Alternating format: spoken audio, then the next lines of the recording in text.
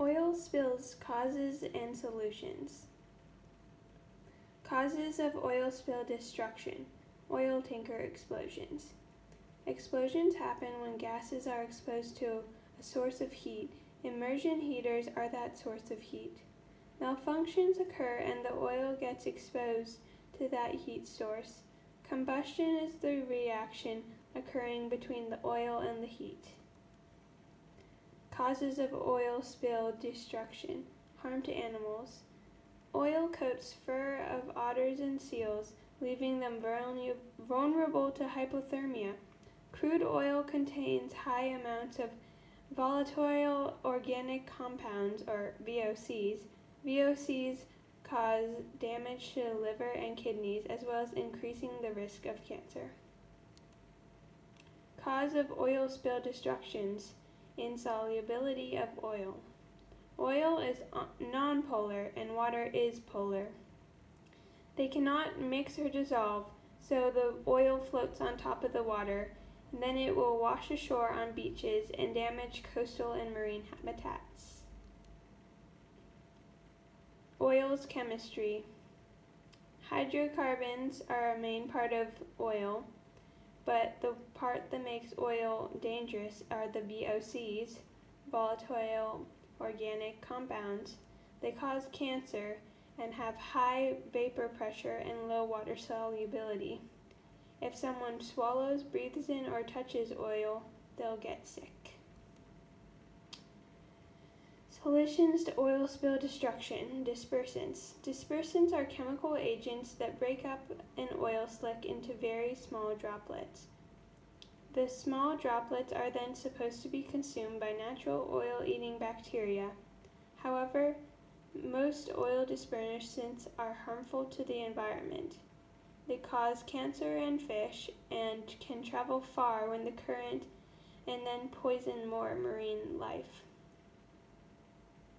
There are only a few natural dispersants, such as the one created from cactus. Solutions to oil spill destruction Oil eating bacteria. The bacteria hosted by algae create complex communities. The main types of bacteria are Marinobacter, Ocean spiralalis,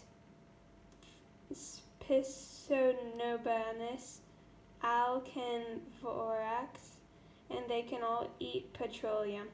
They are present in the world's ocean, and it is estimated that bact these bacteria ate up 200,000 tons of oil after the Deepwater Horizon spill. Destruction solutions to oil destruction, oil skimmers. Large tubes float across the water and nets fall two meters below the surface.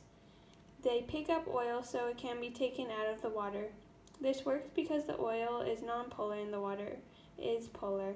They repel each other and the oil floats on top of the water. Solutions to oil destruction. Reusable absorbents. These absorbents absorb the oil from beaches and coastal areas.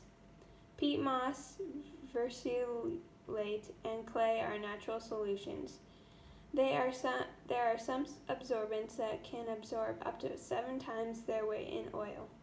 The best absorbents are hydrophobic and oilophobic, meaning water repelling and oil attracting. The best solution is oil eating bacteria.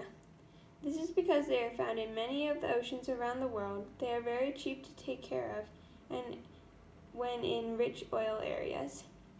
Bacteria can break down these complex hydrocarbons unlike other solutions. They don't just move the oil from one place to another, but break it down into harmless molecules.